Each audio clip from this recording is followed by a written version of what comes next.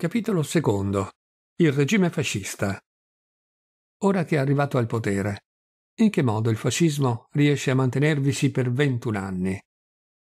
Primo, l'instaurarsi della dittatura e le istituzioni. Esaminiamo dapprima le forme giuridiche, tecniche, mercé le quali si organizza il regime fascista. Forme che rappresentano un taglio netto col regime parlamentare dell'Italia dal 1861 al 1922. È necessario qui distinguere nettamente due periodi, quello compreso fra il novembre 1922 e il gennaio 1925 e quello successivo al 3 gennaio 1925. Nel primo periodo, salvo il fatto politicamente decisivo della formazione ufficiale, legalizzata, di un esercito di partito, la milizia, su cui dovremo tornare, non si verificano cambiamenti sostanziali, rivoluzionari. In primo luogo, Mussolini, che fino al settembre 1922 non aveva nascosto le sue preferenze repubblicane, accetta col discorso di Udine, 20 settembre 1922, la monarchia, la quale aveva dalla sua parte, in seno al fascismo, capi come De Vecchi, oltre a tutti i nazionalisti. Istituzione che alla base della vita italiana non cambia, e si conserverà sino alla fine. Inoltre, in questo primo periodo, Mussolini accetta ancora la collaborazione al governo dei liberali e dei popolari. Allontana dal gabinetto i membri del Partito Popolare nell'aprile del 1923, ma sino alla fine del 1924 i liberali continueranno a partecipare al governo. Formalmente si può quindi parlare in questo primo periodo di una cooperazione tra il fascismo e alcuni uomini di altri partiti. Dico alcuni uomini, perché con i partiti come tali Mussolini è ormai pressoché deciso a non scendere a patti. Nei riguardi dei collaboratori popolari, che cercano ancora di agire in funzione del loro partito, Mussolini reagisce allontanandoli dal governo. È una cooperazione capovolta rispetto a quella che intendevano Giolitti e alcuni vecchi capi politici. Non sono più i vecchi partiti che incorporano il fascismo, è quest'ultimo, invece, che formalmente accetta, ancora per qualche tempo, la collaborazione dei non fascisti. Intanto, in tutto il paese continuano le violenze contro i socialisti, i comunisti e i popolari, contro tutto ciò che non è fascista. I capi fascisti locali, i RAS, acquistano una posizione predominante e il partito fa la voce grossa coi rappresentanti del governo, prefetti, eccetera. La sostanza delle cose muta rapidamente, mentre la forma è intaccata solo in parte. Per prima cosa, Mussolini ottiene dalla Camera dei Deputati la fiducia per il suo governo, con 306 voti contro i 116 e contemporaneamente i pieni poteri. Formalmente, perciò, egli agisce in base a una delega del Parlamento, ma intanto si mette in moto per preparare una Camera dei Deputati di sua fiducia. Ed ecco la legge elettorale del 18 novembre 1923, che attribuisce alla lista di testa i due terzi dei seggi alla Camera. Al fascismo basterà dunque ottenere la maggioranza relativa sulle altre liste, nemmeno la maggioranza assoluta, per disporre a piacere della Camera. Per strappare tale maggioranza esistono efficaci mezzi d'azione, che ostacolano la propaganda avversaria e rendono estremamente difficile agli elettori il compimento del loro dovere. Alle elezioni del 6 aprile 1924, la lista fascista o lista nazionale raggiunge così il 64,9% dei voti. Essa beneficerà al Parlamento di 374 seggi. La legge elettorale del 1924 non durerà che quattro anni e sarà sostituita dalla nuova legge del 1928, che è ormai tutt'altra cosa. In base ad essa non vi sarà che una lista unica. A chi spetterà la composizione di tale lista? Il compito di designare i candidati viene attribuito ai sindacati e ad altre organizzazioni. Esse indicheranno un numero di candidati due volte superiore a quello che deve essere eletto, 800. Dopodiché, il Gran Consiglio del Fascismo sceglierà la metà, 400 dei nomi proposti, e la sottometterà all'elettorato per l'approvazione. Con questa legge ci troviamo ormai, anche dal punto di vista formale, completamente al di fuori non solo del sistema parlamentare, ma anche, come osserva Giolitti, dal semplice sistema costituzionale. Si abbandona il sistema elettorale per adottare quello plebiscitario e di fatto si è già in piena dittatura. Con la legge del 1928 entriamo ormai nel secondo periodo del fascismo. Tra la legge del 1923 e quella del 1928 si situa appunto la rottura, anche formale questa volta, col vecchio sistema. La rottura avviene nel 1925.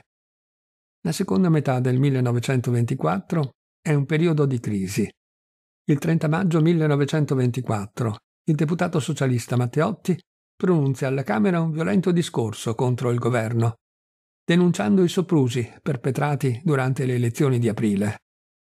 Qualche giorno più tardi egli viene rapito dai fascisti in piena Roma e il suo cadavere sarà ritrovato solo dopo diverse settimane. Appare subito chiaro che la responsabilità risale assai in alto, allo stesso entourage di Mussolini. Il ministro degli interni e la polizia sono messi in causa. Vivacissima ed energica è la reazione suscitata dall'assassinio di Matteotti. È la fine delle illusioni per coloro che, pur restando fedeli all'ideale della libertà, avevano creduto di poter scendere a patti col fascismo anche dopo il 28 ottobre 1922 nella speranza di incanalarlo, di impedirgli di varcare certi limiti. Persino fra i molti fascisti si apre una crisi, sia perché questo assassinio, eppure non è certo il primo, illumina di colpo d'una luce sinistra il problema politico generale. Il fascismo ha in mano il potere.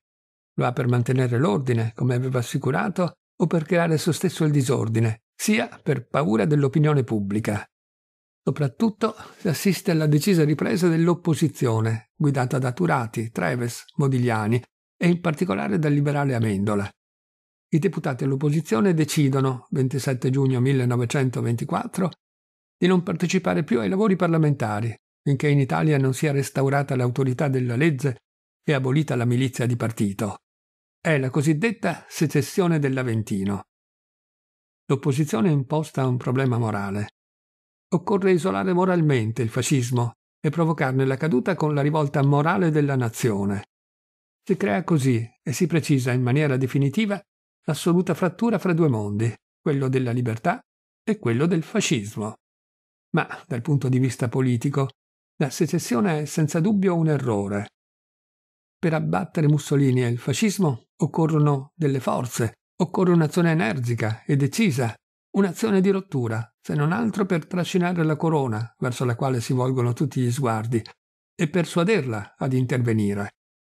Nulla di tutto ciò accade. Il re attende e non si muove. Ha affermato di essere cieco e sordo. I suoi occhi e le sue orecchie, ha detto, sono la Camera e il Senato.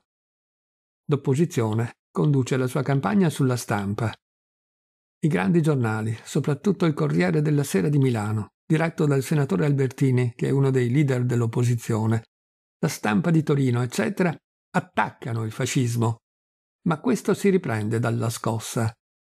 I capi provinciali, in particolare Farinazzi, reagiscono con estrema violenza, riorganizzano le loro squadre e passano al contrattacco.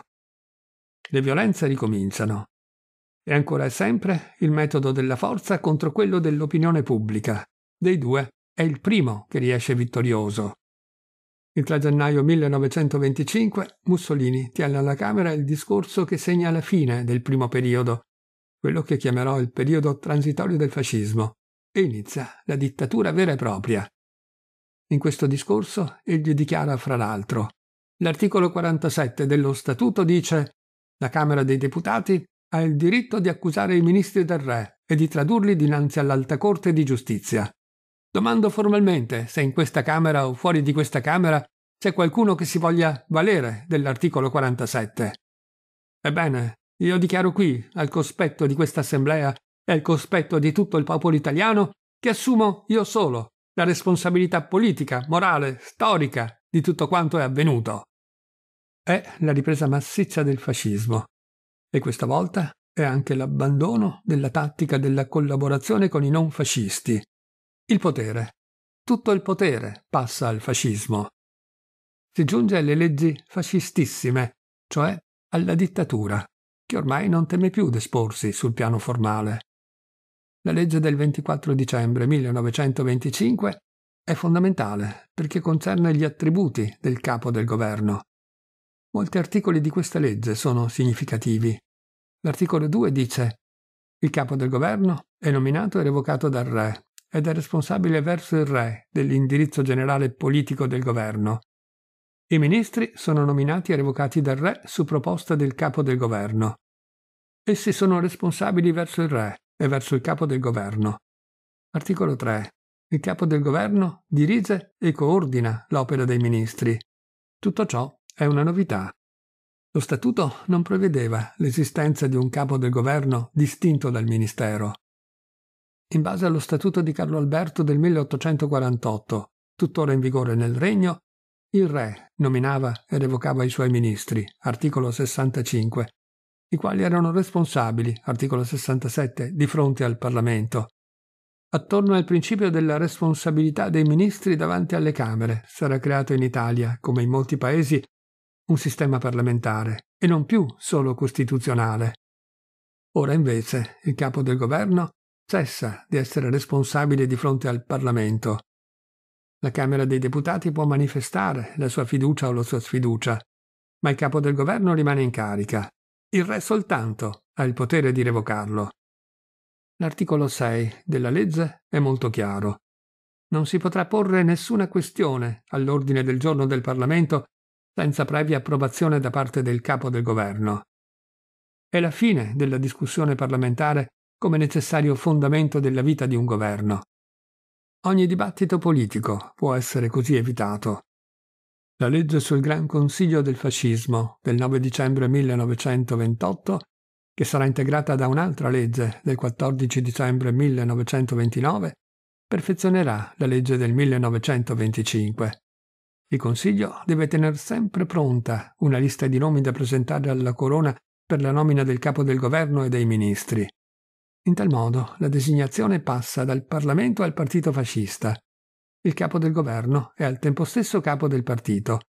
La sua responsabilità è nominale verso il re ed effettiva soltanto verso il partito. Così bisognerà che il partito si dissolva, che il Gran Consiglio s'opponga a Mussolini perché il re si decida a intervenire. Siamo dunque allo Stato partito. Ecco la legge sulla stampa, con cui si attua la trasformazione degli organi principali della stampa italiana. La stampa di Torino e il Corriere della Sera di Milano passano in mano ai fascisti. In quanto al Gran Consiglio del fascismo, il suo parere è obbligatorio in tutte le questioni di carattere costituzionale. Per il resto, potrà esprimere la sua opinione a richiesta del capo del governo su ogni questione politica, economica o sociale di carattere nazionale. Fra le questioni costituzionali di competenza del Gran Consiglio c'è quella concernente la successione al trono, gli attributi e le prerogative della corona. È una specie di avvertimento rivolto alla monarchia, una palese, precisa limitazione dei suoi poteri e un modo per far sapere in altissimo loco. Badate, noi siamo monarchici, ma solo finché ciò ci fa comodo. In realtà, il compito del Gran Consiglio si esaurì nell'approvare quel che già era stato deciso. Discussioni assai vivaci si ebbero al tempo delle leggi razziali. Balbo, che certo non mancava di coraggio, lottò per impedire l'approvazione dei decreti.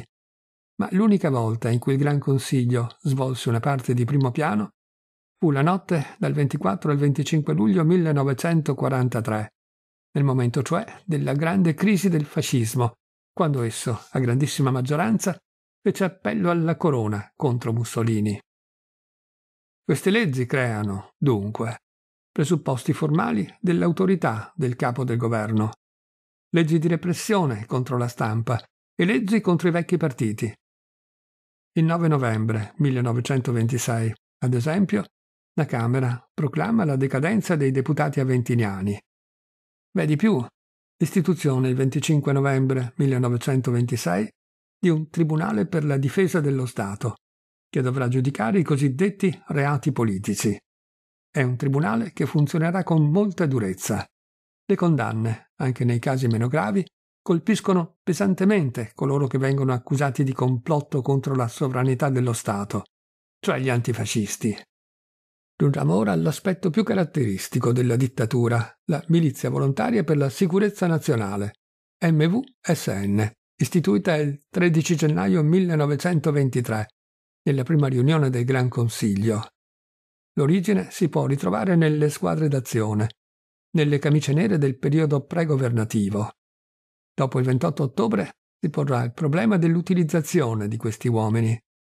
Mussolini, è chiaro, non ha nessuna intenzione di rinunciare a questo strumento che è la vera base del suo potere. Si creò così la milizia. Le camicie nere presteranno giuramento di fedeltà al re, ma resteranno sempre agli ordini del capo del governo e il loro compito sarà quello di conservare e difendere i diritti della rivoluzione. Siamo di fronte ad uno degli elementi più caratteristici della differenza fra le dittature del XX secolo e quelle del XIX. Non si dimentichi infatti che la stessa cosa accadrà in Germania, dove accanto alla Wehrmacht sorgeranno le SS. Le leggi restrittive della libertà di stampa non sono una novità. Neppure la condanna all'esilio dei propri avversari politici rappresenta una novità. La vera novità è costituita dal fatto che, mentre le dittature del XIX secolo facevano appello all'esercito regolare e compivano il colpo di Stato con il suo appoggio, quelle del XX secolo, fascista o nazista, si impadronivano del potere grazie a una propria organizzazione militare, specialmente approntata e destinata a conservarsi accanto all'esercito regolare. Sotto il profilo politico, il fatto ha conseguenze assai gravi. L'abbiamo già visto al momento dell'avvento al potere del fascismo. L'organizzazione militare delle camicie nere ha fornito al fascismo una forza d'urto sconosciuta ai vecchi partiti politici. Lo riscontriamo ora, dopo l'ascesa al potere. La forza militare organizzata, fedele al capo, il giuramento di fedeltà al re è solo una parvenza che non inganna nessuno, consente a Mussolini di restare al suo posto nel giugno 1924, in un momento in cui qualsiasi altro governo normale avrebbe dovuto dare le dimissioni su due piedi, e gli permette di sfidare le forze morali dell'opinione pubblica. La milizia continuerà a rappresentare la garanzia del regime anche dopo il 1925, persino quando Mussolini cercherà, nel modo più aperto, il consenso, perfino quando nel 1932-33 farà entrare nel partito fascista il maggior numero possibile di persone nell'intento di identificare il partito con la nazione, anche allora la milizia, cioè la forza armata, rimarrà il suo costante appoggio. L'opinione pubblica viene dunque schiacciata. Tra gli esponenti antifascisti alcuni sono stati uccisi o sono morti in seguito alle aggressioni fasciste, come Amendola, capo dell'opposizione liberale, come il giovane torinese Pietro Gobetti, che dalla prima ora aveva raccolto gli oppositori attorno al giornale da lui fondato a Torino, la Rivoluzione Liberale. Altri, Turati, Treves, Modigliani, eccetera, sono costretti, dopo il 1925, a prendere la via dell'esilio. Lo storico Salvemini, professore a Firenze, è in esilio. In esilio Nitti, ex presidente del Consiglio.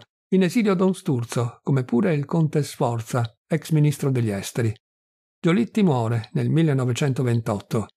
Di coloro che sono rimasti in Italia, buon numero è in carcere. Più di ogni altro il Partito Comunista prosegue la sua attività clandestina. Ma l'azione deve svolgersi in segreto, e bisogna pagare un pesante tributo personale ogni qualvolta si cade in mano al Tribunale per la difesa dello Stato. Gramsci, dirigente comunista, è in prigione e ne uscirà solo per morire. Rosselli finirà pugnalato in Francia ad opera di sicari fascisti. Alla Camera dei Deputati, Giolitti e altri liberali che non hanno aderito alla secessione dell'Aventino si sono irrigiditi nel loro atteggiamento e sono passati ad un'opposizione assoluta. Il congresso di Livorno, autunno 1924, ha segnato il passaggio del Partito Liberale alla netta opposizione contro il fascismo. Persino Salandra, liberale di destra e fino allora assai incline alla collaborazione, si unirà ai liberali antifascisti.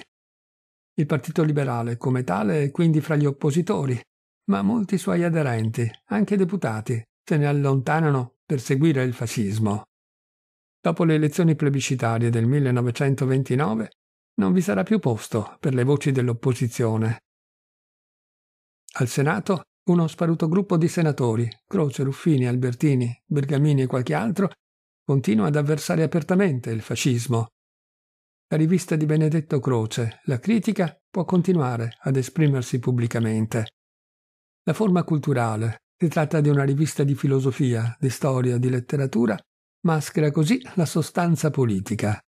Croce diviene in tal modo il vessillo vivente degli ideali della libertà e dell'antifascismo. Il resto è silenzio.